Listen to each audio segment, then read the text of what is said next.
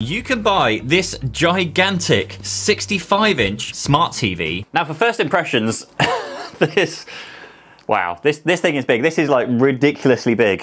I don't really even know where to look. It's just, it's just insane. Now it feels like the first time I've used a 49 inch ultra wide and back then I thought you know that was ridiculous. I did actually have a concern over using a TV because you know most TVs are quite mirror like and reflect the light from the room. This does actually have a anti-reflective coating on it which should prevent any glare and lights from being introduced. But at least in my room, certainly at the very top if I'm sitting up close to the screen, I can see the reflection of my room lights as well. And as you can see in the reflection on the camera there, you can see the reflection of some you know some quite bright lights we have right here as well. This actually feels better than a Samsung Ark. Like perhaps that's just because the price tag is so low compared, to, you know, three and a half thousand to the two thousand dollar price. But having the additional vertical resolution means you can keep so many more things open on your screen at once.